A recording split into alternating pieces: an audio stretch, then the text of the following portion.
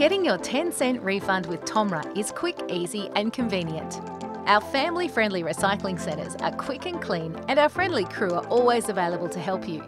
Most drink containers are eligible for a 10 cent refund, including plastics, cans, cartons and glass bottles.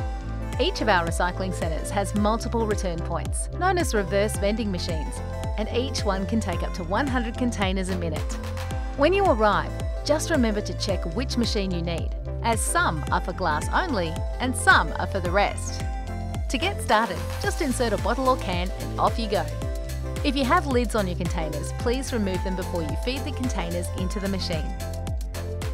There are three easy ways to claim your refund. Firstly, you can claim your refund as cash with a retail voucher redeemable at any Woolworths store, or you can opt for a saving off your groceries. Secondly, if you've registered for a scheme ID on the Containers for Change website, you can get your refund transferred directly into your bank account or your PayPal account.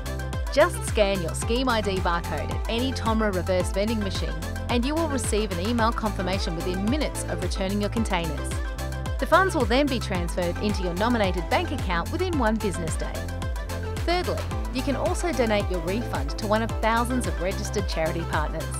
Just look for a charity on the Containers for Change website or within the Containers for Change app and then scan the charity's Scheme ID barcode at any Tomra reverse vending machine. 100% of your refund will go to the charity of your choice. Thank you for deciding to take into Tomra and for helping to build a cleaner, more sustainable Queensland. We look forward to seeing you very soon.